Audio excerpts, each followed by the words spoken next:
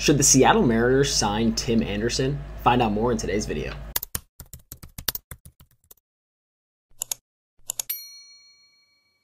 So with all the talk around Whit Merrifield and Donovan Solano possibly becoming Seattle Mariners this offseason, I decided to switch it up and add one more player to the mix. And that would be 30-year-old free agent Tim Anderson. And I know what you guys are thinking, Tim Anderson, he had a 60 WRC plus, a negative war, all that stuff.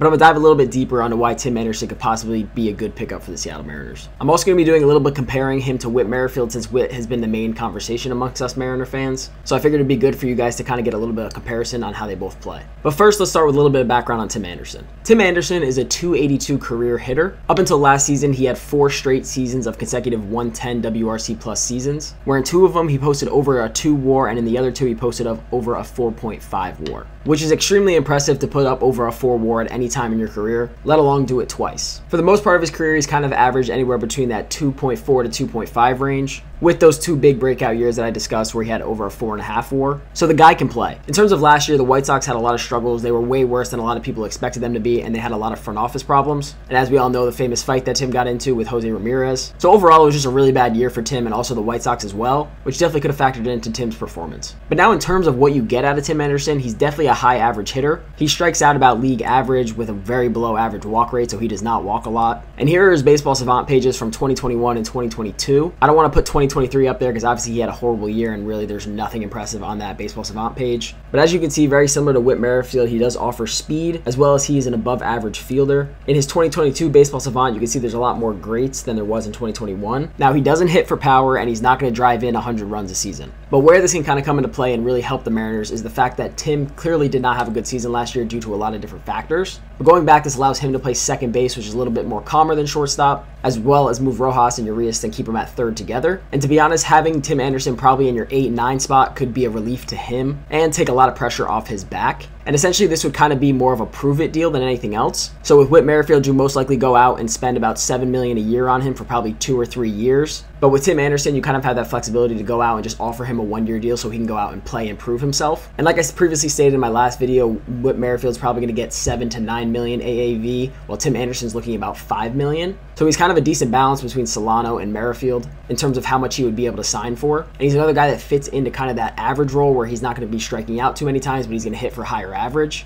which is apparently what Jerry has been looking for this entire offseason. And I also kind of just want to compare to Whit Merrifield as well and compare the two stellar seasons that they both had in 2021 and to show you just Tim Anderson isn't some bum. He had one really bad year and he kind of gets a bad rep for it, but this is a guy that can just truly help elevate your lineup, especially in the bottom three. So in 2021, Tim Anderson played in 123 games while Whit Merrifield played in 162. Tim had 527 ABs while Whit Merrifield had 664. Tim had 163 hits while Whit had 184 hits. So he only had 21 less hits and about a little less than 140 less at bats, which is extremely impressive. They both walked at a similar clip of 4.0 versus a 5.6. Whit had about a 7% less strikeout rate than Tim did. Here's where things kind of get interesting. Tim Anderson posted a WRC plus of 118 during this season, while Whit Merrifield only posted an 89 WRC plus. And in terms of wins above replacement, Tim Anderson posted a 4.6 while Whit posted a 3.0. So this is kind of comparing the two players in two stud years that they both had. It kind of shows the value that Tim Anderson could really bring to this lineup. And let's also not forget the elephant of the room that Whit Merrifield is also five years older than Tim Anderson is. So arguably some could say that Tim Anderson is kind of in his prime years, if not coming to the end of them, but still in them, while Whit Merrifield's only getting older and he's going into his 35 age season. So again, you're not going out and signing Tim Anderson to put him in your two hole or anywhere higher up in the lineup, but if you really want to go out and fill that second base hole and allow Josh Rojas to go over to third base where he's more comfortable. Tim Anderson definitely needs to be on the radar. And again, a lot of you in this video might hate this idea and kind of just hate Tim Anderson as a player, which is fine, and is also a 282 career hitter, so again, he's not a bum. And with the luck we've had with our second baseman these past few years, Tim Anderson could definitely be an upgrade and also help in the bat to ball department and not so many strikeouts. So again, this is probably another long shot, just kind of similar to what Merrifield is, because at the end of the day, this is all just speculation and we're kind of hoping they just go out and make one of these moves, as we all believe we do definitely need one or two more bats. But it's definitely an interesting player to think about. And please let me know down in the comments what you guys think about Tim Anderson as a player and if you think he can come in and help the Mariners out. But otherwise, I hope you guys did enjoy this video and I will see you guys in the next one.